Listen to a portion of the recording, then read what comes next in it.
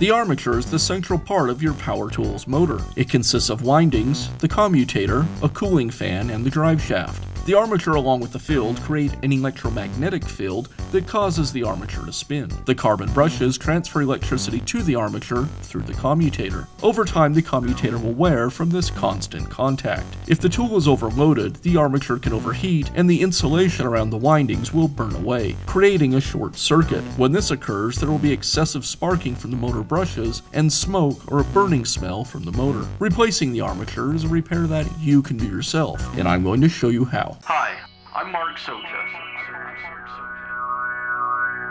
Do-it-yourself repairs like these are easier than you might think. From lawn machines to cordless drills, kitchen mixers, Outdoor grills. our how-to videos walk you through each repair from start to finish. So doing it yourself means never having to do it alone. Let's get started. I'll begin by removing one half of the housing.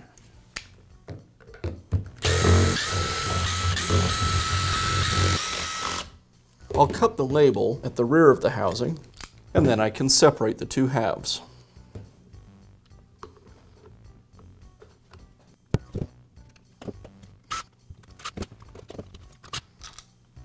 Now remove the two screws that secure the front housing to the plastic housing.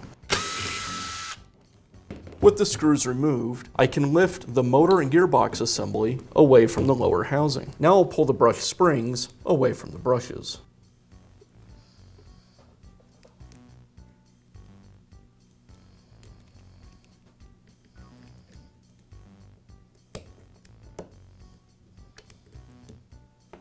And with the tension off of the brushes, now I can separate the motor away from the brush ring. With the motor and gearbox assembly removed, I can separate the armature from the gearbox.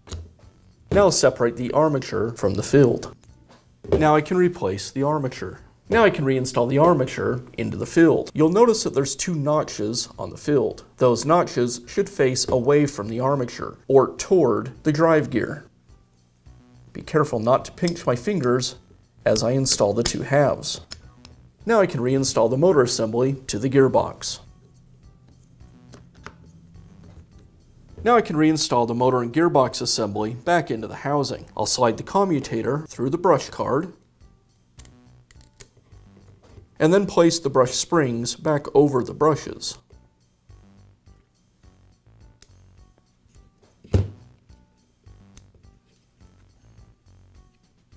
Now I'll align each of the components with the housing. The notches on the field need to align with tabs on the housings. You should have one notch pointing straight up.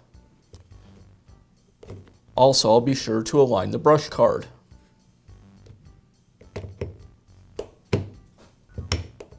And then I'll tuck the brush card wires the rest of the way into the housing.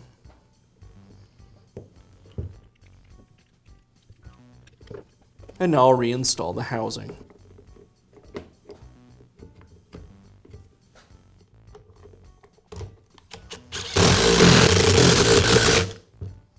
Now reinstall the screws that secure the gearbox to the motor housing.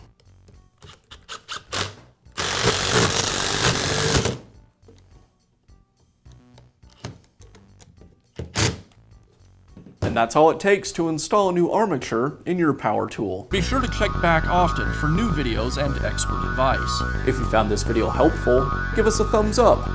And leave a comment.